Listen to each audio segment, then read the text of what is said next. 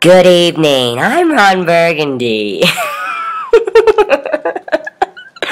wow, that's so. Oh, it's gone. Hmm.